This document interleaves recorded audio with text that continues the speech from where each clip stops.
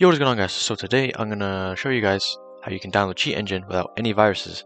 And first of all, you do not have to deactivate your antivirus as you can see over here, where is it? Uh, right here.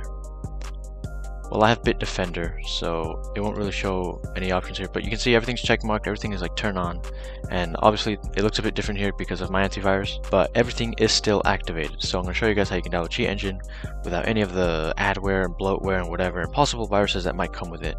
So pretty much I've just taken Cheat Engine and I've just like taken out all of the, the crap from it pretty much, and I've put it all into a Google Drive file for you guys to download. So I'm going to explain to you guys how you can download that. So in the description is this link that I have on the screen here, and you want to click that. So for me, I'm just going to, you know, select it, copy it, and then, well, I'm just in this browser, so you guys can click on it there or copy and paste it, whatever, I don't know. But anyways, you're going to get taken to here. Google Drive can't scan this file for viruses. It just says that because the file is too big. Doesn't mean there's a virus in it. It just says that because the file is too big, as you can see here. This file is too large for Google to scan viruses. We'd like to still download anyways. Download anyways. So you click download anyways.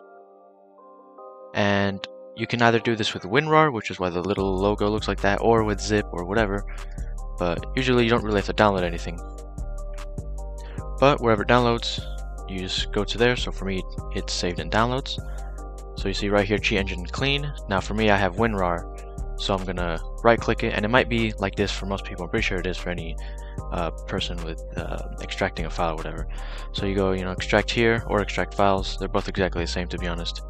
And then you click on it, Cheat Engine Clean, and then you scroll down and you want to click on this one, cheatengine.exe application. As you can see, it has a Cheat Engine logo, and you can run it as administrator or just double click it.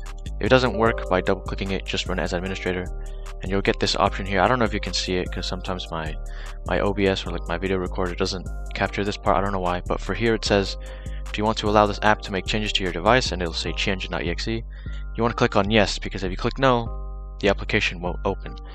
And it asks you this because Cheat Engine is a program that modifies files and for, like for the things you hack, so your computer needs to ask you this. So you're going to click yes.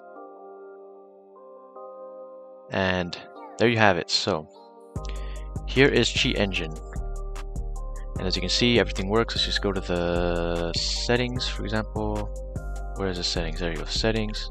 As you can see, everything is here. It's not like cut short or anything. Everything is here. For example, hotkeys, you know, you can customize all this. And there you guys have it. Uh, even the processes work, and yeah, pretty much everything that's there. And there you guys have it. So, if you have any questions, please put them down in the comments. I will try my best to reply to all of them. And that's pretty much it. See you guys in the next video. Before the video ends, I just wanted to throw this in that this is after the download, as you can see. Um, no current threats, protection settings, you know, nothing, no action needed, and everything's fine. No virus pop-ups, no nothing, everything's fine. And, uh, well, yeah, I just wanted to throw that in. See you guys.